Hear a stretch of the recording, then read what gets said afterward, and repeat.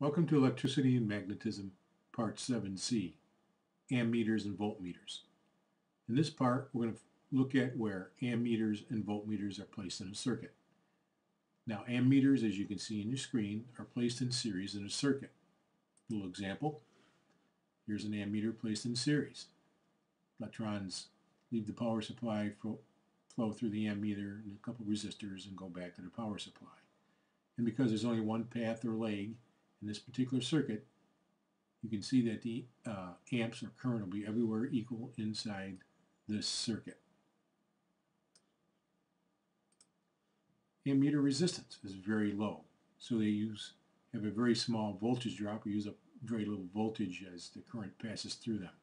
You want that so it doesn't interfere with the functioning of the circuit.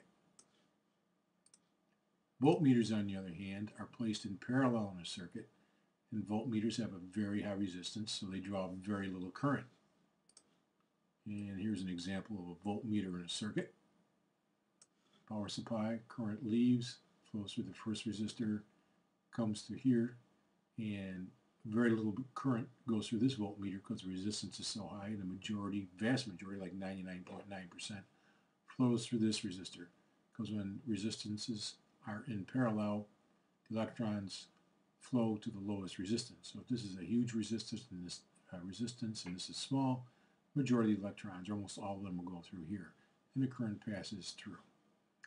Okay, I hope that helped. Please feel free to leave a comment.